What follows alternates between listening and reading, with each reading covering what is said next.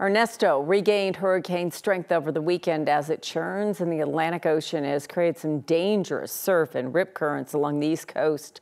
The National Weather Service says the life-threatening surf will continue to be a problem for a few more days as it heads for the eastern coast of Canada.